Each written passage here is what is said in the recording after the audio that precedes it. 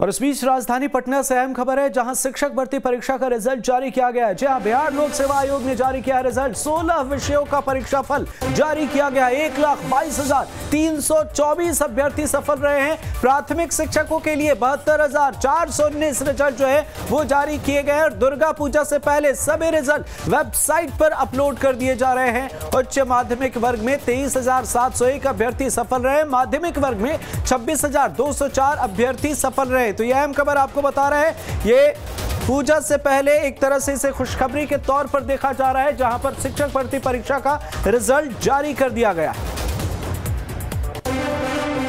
सहयोगी रितेश करो करते हैं। रितेश, शिक्षक भर्ती परीक्षा का रिज़ल्ट जारी किया गया है। बिहार लोक सेवा आयोग ने यह रिज़ल्ट जारी किया है। क्या कुछ है जानकारी?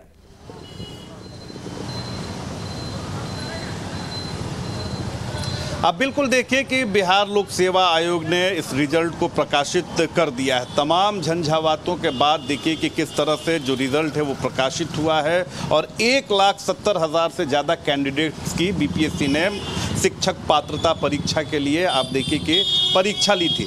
सबसे बड़ी बात है कि न्यूज़ स्टेट बिहार झारखंड की खबर पर एक बार फिर से मुहर लगी है। दरअसल, परसों की अगर बात करें तो कई सारे चैनल्स ने बगैर पड़ताल के ये खबर चला दी थी कि रिज़ल्ट अब से थोड़ी देर बाद प्रकाशित होगा। लेकिन हमने पुख्ता तौर पे कहा था कि रिज़ल्ट कब प्रकाशित होगा और कैसे प्रकाशित होगा। और देखिए कि हमारी जो बात है, वो सच निकली। और न्यूज़ स्टेट बिहार झारखंड कोई भी खबर काफ़ी विश्लेषण करने के बाद, उसकी स्क्रीनिंग करने के बाद ही हम ब्रेक करते हैं और देखिए कि हमारी खबर जो है वो सच साबित हुई रिज़ल्ट प्रकाशित हुआ है। अब स्क्रीनिंग की बारी है और स्क्रीनिंग होगी और दो नवंबर को देखिए कि मुख्यमंत्री नीतीश कुमार जितने भी अभ्यर्थी बिल्कुल बिल्कुल रितेश और कहीं ना कहीं दुर्गा पूजा दिवाली और छठ से पहले इसे एक तोहफे के तौर पर भी देखा जा रहा है। बहुत बहुत शुक्रिया।